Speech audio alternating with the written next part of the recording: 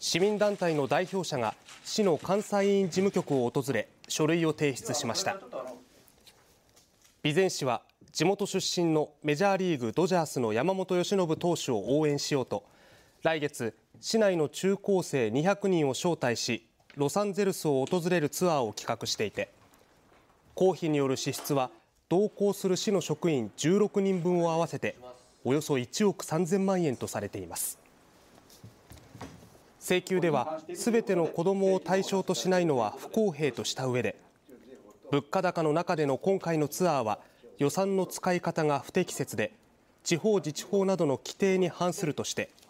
公費による支出の差し止めを市長に勧告するよう求めています。使うべきところにあの使ってほしいというのがねあのあれだと思います。1億3000万円ぐらい使う。